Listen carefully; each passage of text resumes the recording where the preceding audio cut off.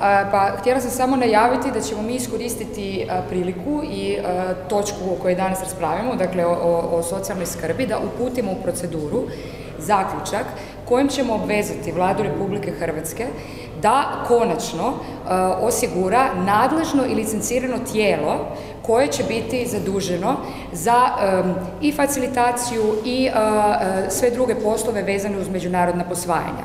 Naime, vi znate da je Hrvatska potpisnica Haške konvencije i nju Haška konvencija time obvezuje da mora imati tijelo koje prati posvajanja iz zemalja koje su također potpisnice. Nama je to nadležno tijelo samo Ministarstvo socijalne skrbi i na tom, pri tom ministarstvu Piletićevom ima jedan odjel, ali koliko je taj odjel efikasan vidimo iz činjenice da je u deset godina posvojeno svega dvoje djece. Iz tog razloga su se između ostalog građani okretali posvajanju iz nesigurnih trećih zemalja, jer za njih nije postojala takva institucija, nego su se oni vođeni anegdotalnim primjerima, kao što svi znamo, um, upuštali u te procese. I tome je stvarno uh, vrijeme da se tome stane na kraj, dakle, to predlaže i stručna javnost, to su predlagale i udruge posvojitelja.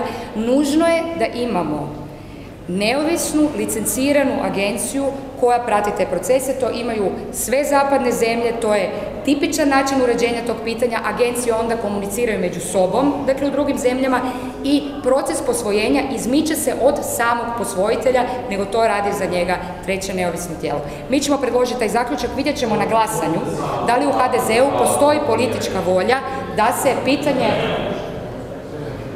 da se pitanje međunarodnih posvojenja konačno riješi. To je to.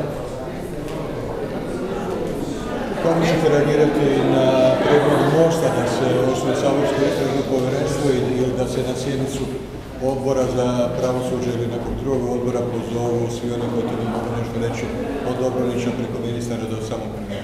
Moramo vidjeti kakav je, ja sam čula samo najave iz medija, kad vidimo što je, naravno onda ćemo kao klub odlučiti. Dobro, ali načelno smatrate li da bi svi odgovorni trebali biti pozvani pred sabor da o tome govore? Načelno smatramo da je nužno rasvijetliti sve okolnosti. Dakle, to govorimo od početka.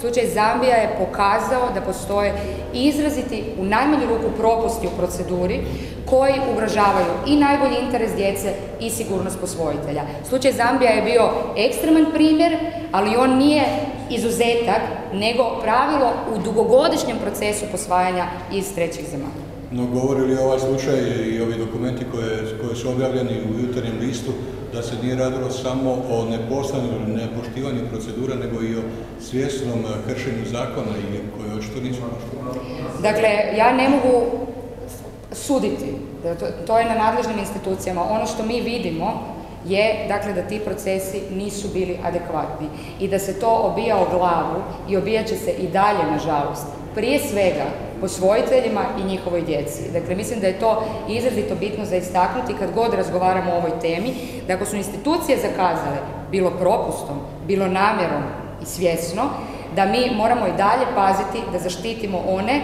koji su tim institucijama bili, kako da kažem, primorani vjerovati. To je to.